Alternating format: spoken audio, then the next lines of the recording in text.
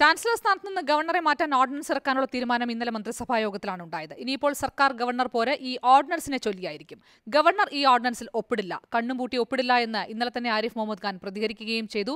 വിവരങ്ങളുമായി K G Kamlesh തന്നെയാണ് നമുക്കൊപ്പമുള്ളത് കമലേഷ് എന്തായാലും ഒപ്പിട്ടില്ല എങ്കിൽ എന്തായിരിക്കും ഇനി സർക്കാരിന്റെ നീക്കം? ഒപ്പം ഇതിങ്ങനെ ഒപ്പിടാതെ പിടിച്ചു വെച്ചു കഴിഞ്ഞാൽ അതിന് പല നിയമപരമായ പ്രശ്നങ്ങളും ഉണ്ടെന്ന് രാജ്ഭവൻ അറിയുകയും ചെയ്യാം. അപ്പോൾ എന്തായിരിക്കും ഗവർണറുടെ അടുത്ത നീക്കം?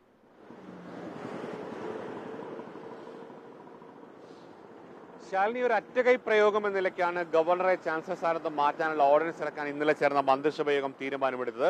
പക്ഷേ ഇത് നിയമമാകാൻ സർക്കാരിന് മുന്നിൽ ഒരുപാട് പരിമിതികൾ പ്രശ്നങ്ങൾ കടമ്പകൾ ഇപ്പോഴും ബാക്കിയാണ്.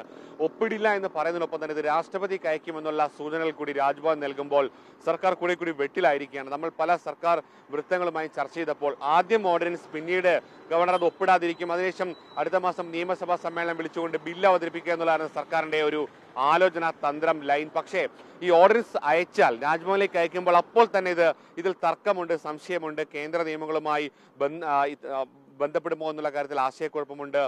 അതുകൊണ്ട് തന്നെ ഇത് രാഷ്ട്രപതിക്ക് അയക്കുമെന്നുള്ള ഒരു തീരുമാനം രാജ്ഭവൻ എടുക്കുകയാണെങ്കിൽ പിന്നീട് അതേ വ്യവസ്ഥകൾ വെച്ചുകൊണ്ട് ഓർഡിനൻസിലെ വ്യവസ്ഥകൾ വെച്ചുകൊണ്ട് ബിൽ കൊണ്ടുവരാൻ സർക്കാരിന് കഴിയില്ല. അത്തരത്തിലൊരു പ്രശ്നം സർക്കാരിന് മുന്നിലുണ്ട്. എന്തായാലും നിയമവഴികൾ സർക്കാർ പലതരത്തിൽ ആലോചിക്കും. ഇന്നതിന്റെ ഓർഡിനൻസ് ഇന്ന് എപ്പോൾ ഇത് പുറത്തിറങ്ങും എപ്പോൾ ഇത് രാജ്ഭവൻ അയക്കുമെന്നുള്ള കാര്യത്തിലൊക്കെ ഒരു വ്യക്തത വരും. മറുവശത്ത് രാജ്ഭവൻ എന്തായാലും ഓർഡിനൻസ് വന്നാൽ ഒപ്പിടില്ല എന്നുള്ള നിലപാട് സ്വീകരിക്കുന്നു. ഇന്ന് എൽ ഡി എഫ് യോഗം കൂടിയുണ്ട്. ഈ നിയമപരമായ വഴികൾക്കൊപ്പം തന്നെ വലിയ സമരം പതിനഞ്ചിനുണ്ട് രാജ്ഭവന് മുന്നിൽ. അതിനങ്ങോട്ട് വലിയ വലിയ സമരങ്ങൾ എൽ ഡി എഫ് ആസൂത്രണം ചെയ്യുന്നുണ്ട്. ഇന്നത്തെ എൽ ഡി എഫ് യോഗവും ഈ ഗവർണർ വിഷയം ചർച്ച ചെയ്യും. അങ്ങനെ എന്തായാലും നിയമ രാഷ്ട്രീയ പോര് ഈ സർക്കാർ ഗവർണർ തമ്മിലുള്ള തർക്കത്തിൽ ഇനിയും ഒരുപാട് നമുക്ക് കാണേണ്ടി വരും. ഇന്ന് തന്നെ അതിന്റെ പല പ്രതികരണങ്ങൾ കൂടി ഉണ്ടാകും. ശാരണി